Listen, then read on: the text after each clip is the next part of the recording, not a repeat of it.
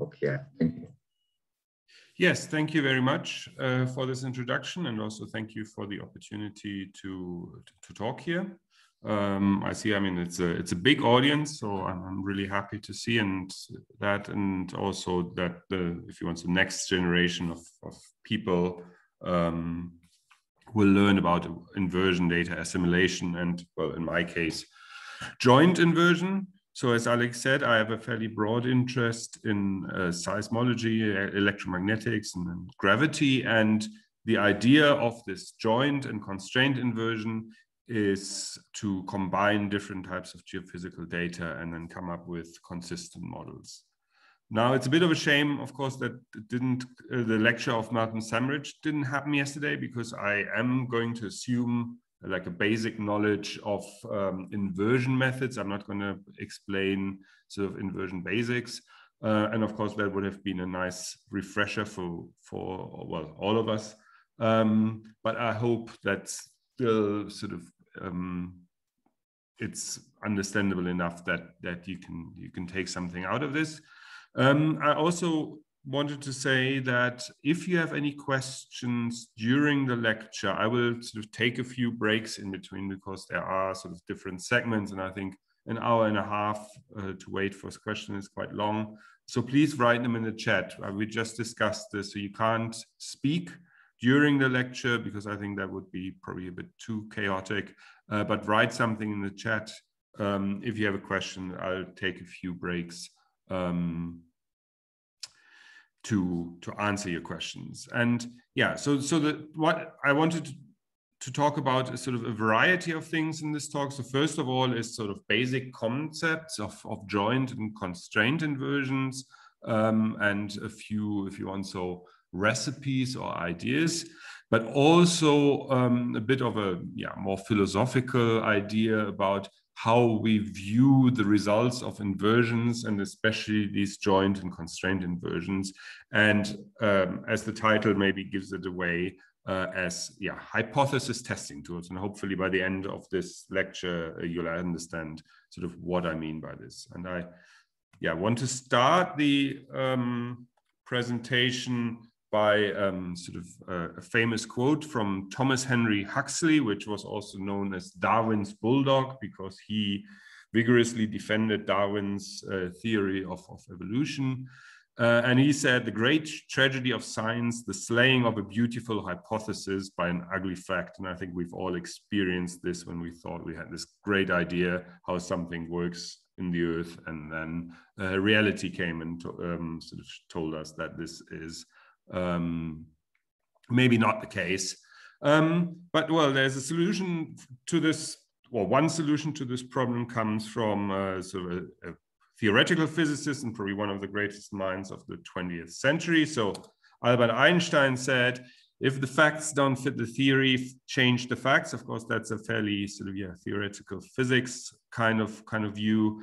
Um, and yeah, one of the points of this lecture is, if you want so, is um, to to show you if if you have a sort of a negative outcome in your inversions or your, your joint inversions. Or the hypothesis you have been working with has been slain that there's maybe another way than changing the facts and sort of still learning something about the earth. And i think uh, that kind of perspective is is hopefully um, useful to some of you yeah, but before we get into this, I want to do, yeah, if you want a basic recap, a basic tutorial. As I said, I'm gonna um, assume that you know something about inversion as such. Hopefully you have performed, used some inversion code on some sort of data.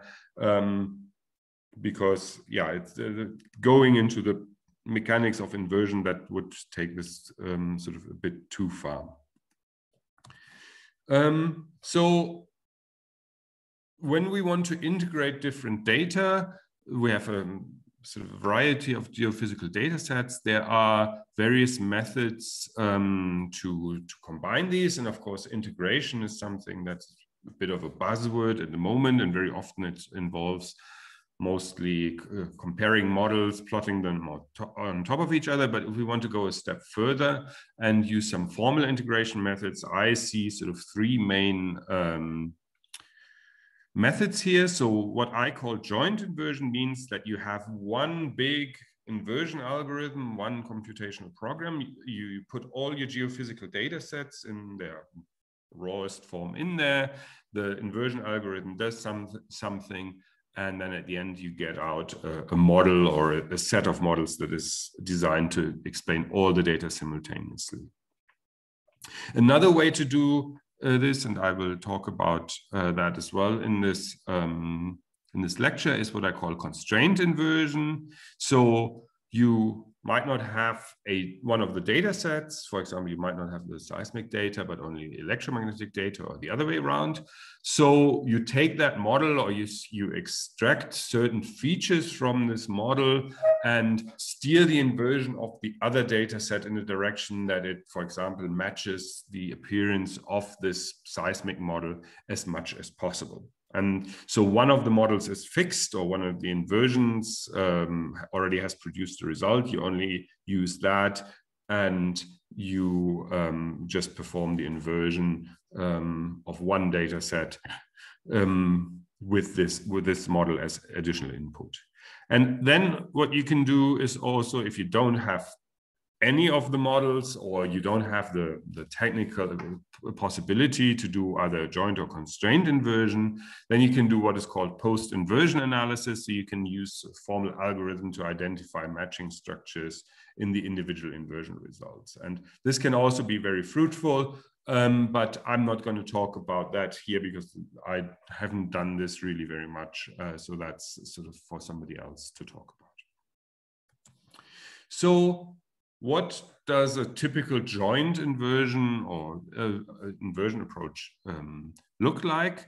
So uh, there's not going to be a lot of maths in this uh, lecture, but here is sort of one of the, if you want, essential equations that I think anybody who has done inversion should have seen. So when you formulate an inversion problem, and here I'm writing this as an electromagnetic inversion problem or magnet magnetotelluric, uh, it's an electromagnetic technique inversion problem. Um, you typically, for just an individual inversion, um, have two ingredients that you need to define before you can write your algorithm and um, sort of solve your problem. And that's the um, two parts of the so-called objective function, the quantity you want to minimize in the inversion. And typically those are the data misfit terms. So this is what I call phi mt. So I call it the um, name of the method. And that depends on, in this case, the conductivity sigma. And then you have the so-called regularization term, um, which makes sure that the model doesn't contain any spurious structure. And typically what we use here is some sort of smoothness regularization. So you want to find the smoothness, smoothest model um, that explains your data and you can balance the different terms, the data misfit and the regularization by this regularization term lambda, or sometimes also called the Lagrange multiplier. So hopefully all of you have seen at least some version of this um, because this is, yeah, the, the, if you want, so the basics of, of individual inversions. So now if we want to turn this into a joint inversion problem, um, we get a slightly more complicated expression. So first of all, I'm writing this as a joint inversion problem of uh, electromagnetics, MT, and seismology or some seismic method that depends on some sort of seismic velocity. I'm intentionally being a bit sort of vague here. But of course, you could write the same for other two methods, so gravity and magnetics or whatever you want. And so our objective function now depends on um, seismic velocity and conductivity. We have, again, the misfit term for the electromagnetic data. We now have another term for uh, the data misfit term for the seismic data. And for simplicity, I've written the regularization term as sort of depending on both. Typically, you have them somewhat separately. And one thing you can see is that um, the data misfit terms and the um, for each method, they only depend on one of the parameters. So one depends on conductivity and one uh, depends on velocity. Um, so what we need to define, and this is, if you want, so everything in joint inversion that really determines what kind of joint inversion is doing, uh, doing is this coupling term. So you need to define some sort of uh, criterion that says, what is my expected relationship between, in this case, velocity and conductivity? And this then is also um, multiplied by some sort of weighting factor that de determines how much you want to enforce this similarity or this, this coupling uh, that uh, between the different parameters. And there are, if you want, so two broad classes of um, coupling that are, in, I would say, in common use um, these days. So one is called structural coupling. And this is based on the idea that, okay, even if the methods are quite different, they sense the Earth differently, there is only one geology. Yeah, so if you have an interface between two different rock formations, then it is likely that there's a change in both um, properties in velocity and conductivity. Um, and so you can use that as a um, way to couple your, your, methods. You might not know exactly how those things change um, at that boundary, but you, you can assume, or it's reasonable to assume that the boundary is present in all the methods uh, that you use. Uh, and one method that is very popular at the moment is the so-called cross gradient that was published by Gallardo and Meju in 2003, because it makes very weak assumptions about how these structures are connected. So um, you would say that in virtually any imaginable situation in the Earth, uh, the cross gradient is probably a fairly reasonable thing that you can do. So it's very widely applicable. You don't need to put in a lot of, if you want, so prior knowledge to, to assume this. Uh, so it's uh, uh, very commonly used for joint inversion at the moment. So if you want to know more about that, you should look at the um, Gallardo and Meju paper and the sort of literature that cites those. Another um, possibility is to work directly with the parameters. So you can di directly relate velocity and resistivity, um, or you can um, make some sort of constraint where you say, okay, I want to have a one-to-one -one relationship between them, or you can define some sort of clustering. But of course, this requires much stronger assumptions about what you put in to the inversion as a um, sort of relationship between those two quantities. And you, if you're in a, in a region, you let's say in exploration geophysics, you might have borehole data, um, or for some materials, we have theoretical models what the velocity and the resistivity should, uh, should behave like. Uh, you can you can put that in, but there's always, if you want, so an inherent danger um, that you're using um, a, a, wrong assumption. And partially what I'm going to talk about today, uh, this hypothesis testing approach, um, is how can we deal with this situation where we sort of want to want to see if a certain relationship is reasonable. And yeah, so it provides a very strong coupling between the different methods uh, much stronger than the structure, structural coupling. But of course, if it's wrong, then you also get um, artifacts. And I will now show you some, some, some set of very simple examples, hopefully instructive, um, that demonstrate both the structural coupling and this parameter relationships on some, some very simple models. So the um, tests I'm going to show you is, a, is if you want, so uh, the first type of inversion that you probably can do as a, as a, as a student, um, maybe even in a lecture course. Um, so here on the left-hand side, I have an electromagnetic test model um, of three layers. So, and you can see this is, if you want, so near surface geophysics, but the scale in this sense is completely irrelevant. Um, we have an upper layer of 100 ohm meters, then we have an anomaly of one ohm meter, and then it goes back to 100 ohm meters. And on the right-hand side, um, for some of you who might be interested in, for example, electromagnetic data, uh, this is the data that would come out of this model. So you can see here the so-called apparent resistivity curve that sort of reflects that model in a sense uh, of uh, we start at 100 ohmmeters, we see something, a decreased apparent resistivity, so an expression of this conductor, and then we go back to 100 ohmmeters. And the inversion I'm running here is, um, yeah, as I said, extremely simply. All I assume that I know the thickness and the resistivity of the uppermost layer and the resistivity of the lowermost layer. And all I'm looking for is the thickness and the resistivity of this middle layer. So I have exactly two inversion parameters. Um, and the reason I do it that simply is that then I can explore the whole parameter space. I can show you all the possible solutions to the problem as simple um, parameter plots uh, in the plane.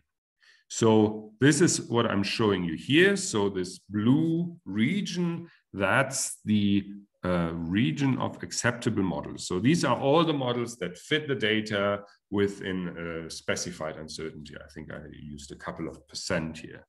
So the true model is the, the red dot, uh, and then the blue models, uh, the blue region are all the acceptable models. And again, I hope you have seen at least these concepts um, in, in principle, so that we could would call the, the fact that we have this space here, the, the null space, and any model um, that lies within this blue region is from, from a data misfit perspective, um, an acceptable model. And if you run an inversion algorithm, depending on where you start, you might end up in any region here um, in, the, in this blue area. But of course, our goal typically is to get as close as possible to the true model to this red dot.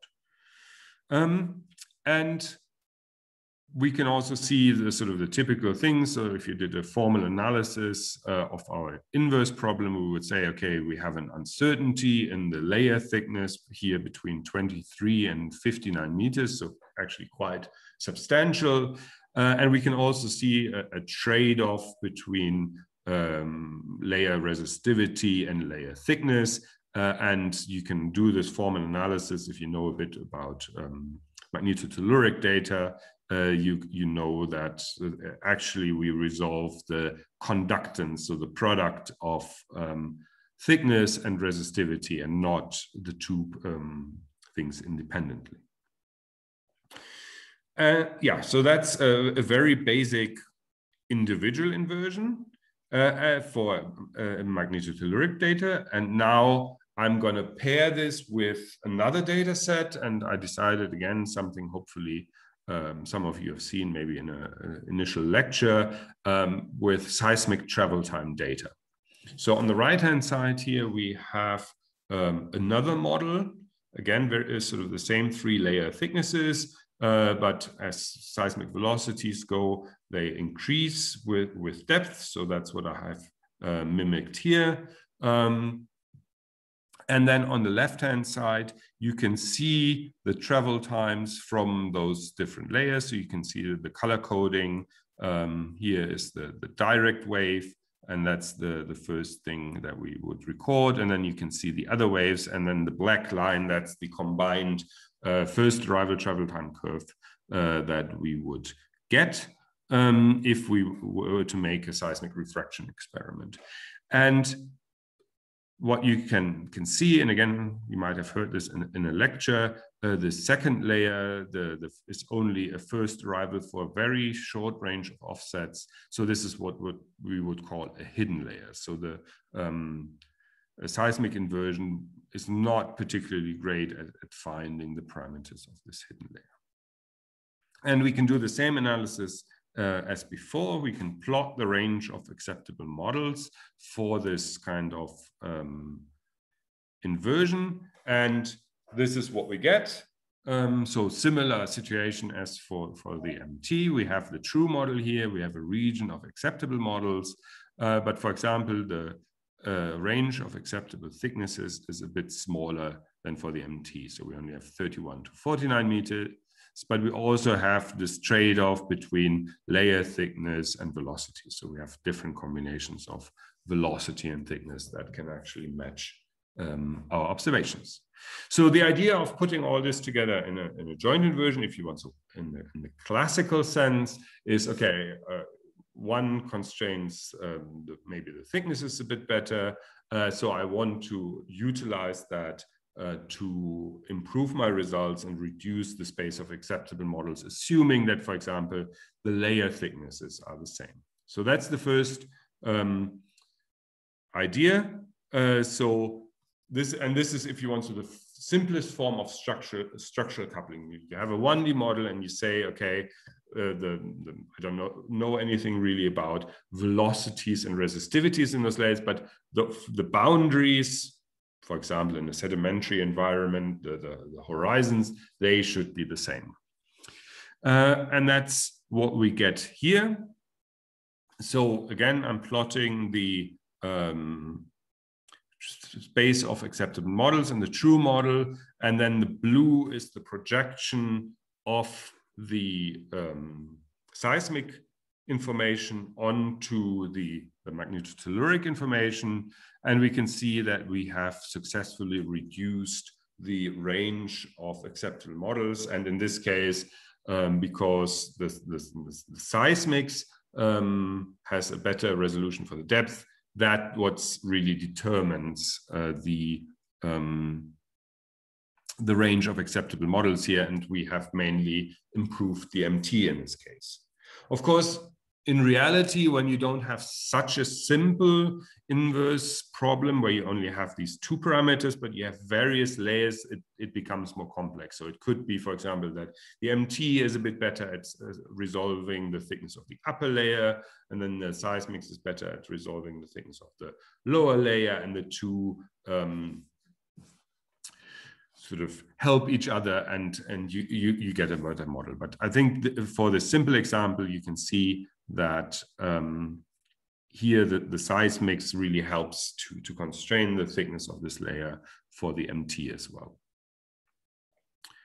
Uh, now, one thing we can do is um, instead of doing a joint inversion, we can pick a seismic model as a constraint and say, okay, I want to do an MT inversion where the layer thickness is as close as possible to the um, seismic model. So you have a fixed seismic model, uh, and then you make the MT inversion, fit the MT data, but also uh, adhere to the layer boundaries that you get from the seismic model. And this is now, again, the same picture. You can see how the orange region stays the same because that's just the uh, uncertainty from the MT. And the blue region has decreased even further. So, and this is when I first saw this was even for me was a bit of a surprising result. So when you do uh, a constraint inversion and then you do sort of formal um, uncertainty analysis, uh, you um, sorry, I was just trying. I didn't mean to go back there. I was just trying to get the chat up as well. Um,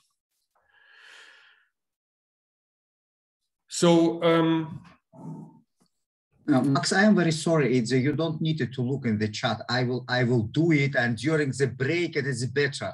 Just okay. go forward, not looking, because sometimes the questions are quite general. It's okay. better to discuss later. Sorry. Okay, right. okay, sorry. Yep. I just wanted to make sure that I'm not miss, you know, sort of talking over people's head or sort of speeding past them.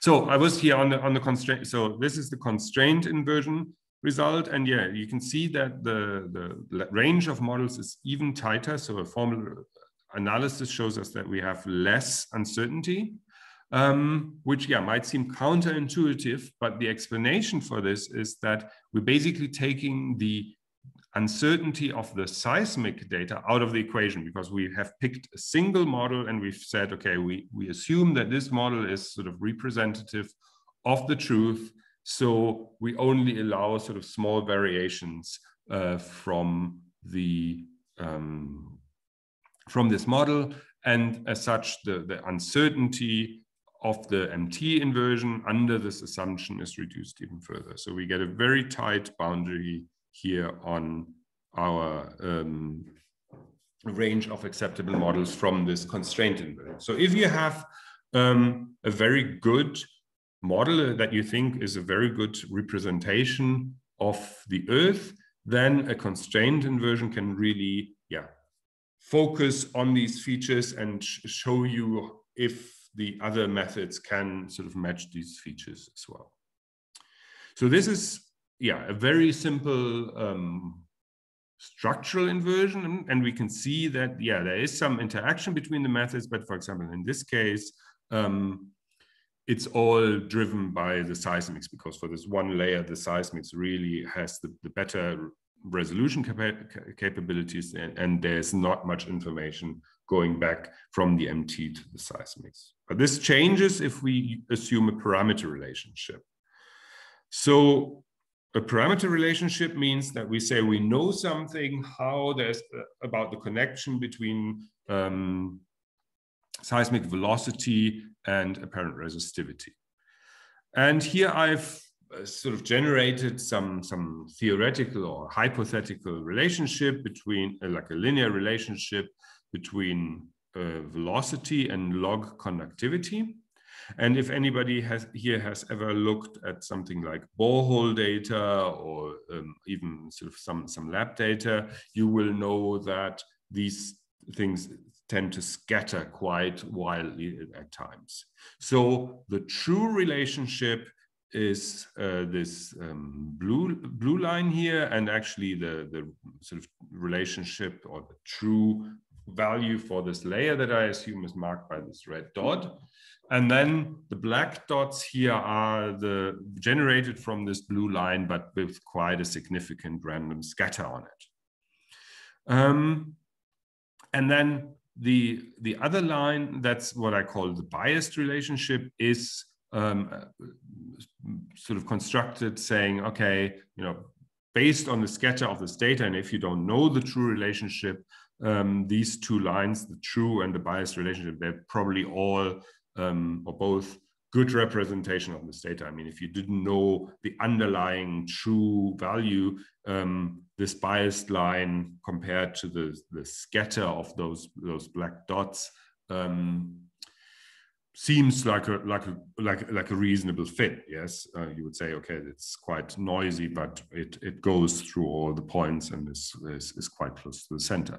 So this reflects the difficulty in really estimating these kind of relationships yes? We we have some ideas what they should look like um, but uh, the details can be um, can be a bit different.